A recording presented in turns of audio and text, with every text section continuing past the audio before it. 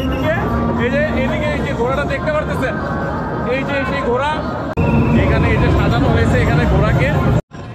বর্তমানে আমার সাথে আমার বন্ধু সামি আর হচ্ছে ফয়সাল আছে। ফাহিমকে অনেক মিস করতেছি।